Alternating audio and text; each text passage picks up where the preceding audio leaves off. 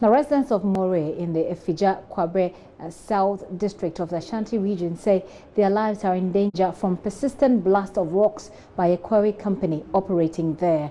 In the latest explosion on Friday, slabs of flying rocks hit and entered homes as far as to bedrooms, causing damage to buildings and other property. The development has left residents in fear as some of them who fled the scene are reluctant to return while some are already calling for relocation and compensation. Nana Asensu Mensa visited the community to interact with the victims.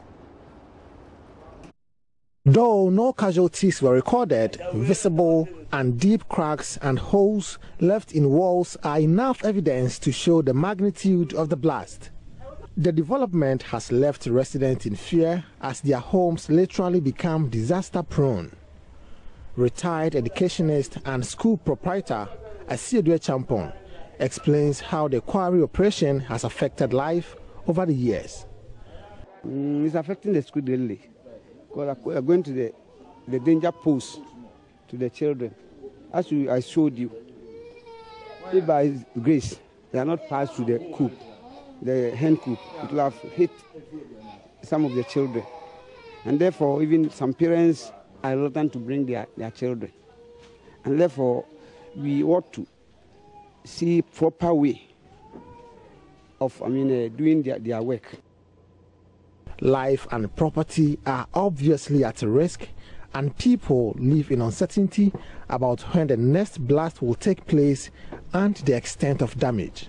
In the house, I want to buy a drug. When I returned from the, the um, town, I heard that this, uh, this is what has happened in my house. So I rushed home, and this is what I found. Send me fear glass, now I bought me pillar we are directed by inside. I really thank God that I wasn't here. In fact, I wouldn't know what had happened to me until you know, the LCNI, the um, government no support. Sebasa ye be free and my ya omonya my na ye what is really going to happen to us. We said baby no. We have papers, we have documents that we are here. And the king knows. Ebu ebu no ebu nchanse no. Etu nchanse ni wura dem na ebu sili na gum. Ubeba na yesi dwane. Awe na wudi mirika. The rocks often blast, destroying our homes and properties. Our lives are at risk. The workers turn a blind eye to our plea. We are afraid for our lives. We are pleading with the government to come to our aid or to put a stop to these workers. sɛ yɛ aban na de mu ɔmo ayɛsrɛ na na akufo ado sɛ ɛmaa tan wɔ ɛna no medwane yɛ hwɛ mekɔhwe ase hwɛ me ha. Ɛti mesrɛ wɔ mo sɛ sɛ wɔ mo ntimi ma ɔ mo nya aboɔ no dwadeɛ a yɛsrɛ wɔ mo. Wɔ mo ntua yɛ dan ne ka na baabi a yɛbɛkɔ no sɛ yɛbɛkɔwulɔ mu akɔwu a yɛnkɔnkɔwu yɛsrɛ wɔ mo. Afija Kwabre South District Chief Executive Christian Edupoku, has no specific remedial action except to admonish quarry companies to ensure sustainable operation.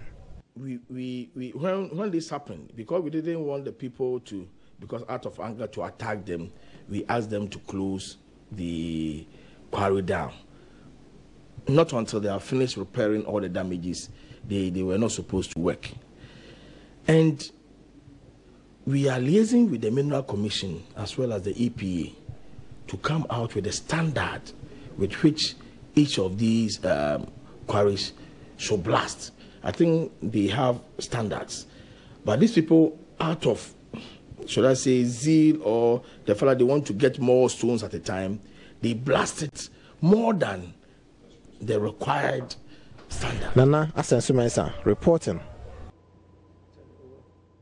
Nana Asensu Mensa's reports there. Well, the Associate Director of the Wassa Association of Communities Affected by Mining, WACAM, Hannah Owusu-Koranteng, wants government to deal with the effect of large-scale mining on the environment and not to focus only on illegal small-scale mining about the postage of bonds. Now we've moved beyond that to the polluter pays principle.